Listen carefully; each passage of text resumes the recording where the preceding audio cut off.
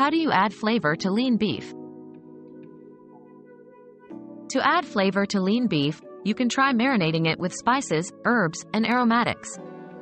A simple marinade can consist of soy sauce, garlic, ginger, and a touch of honey.